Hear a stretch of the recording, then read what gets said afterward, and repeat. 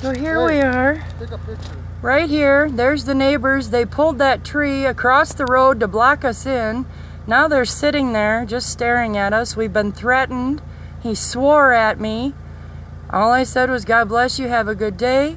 They're not letting us leave our own property. This is a shared driveway, and they're trying to say that we can't drive on it at all.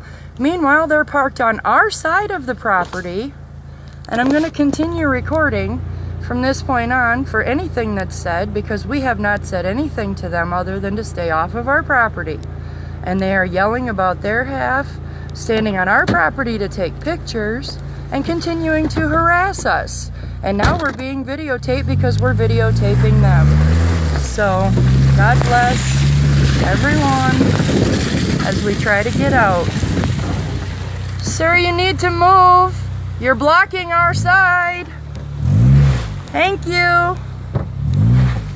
Keep going. You're in the way. Hello, please move.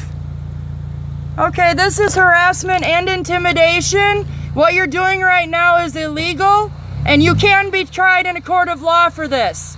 I can get a restraining order against you for this kind of treatment. No, you cannot. Yes, I can, because you're harassing and intimidating me. Take a couple of these before you find out who I am. I don't fucking care. Who hey, give that to the cops. Okay, there you go. Back on my property. Harassment and intimidation. Right here. Cops are on their fucking way. Good, thank you. Get him, go!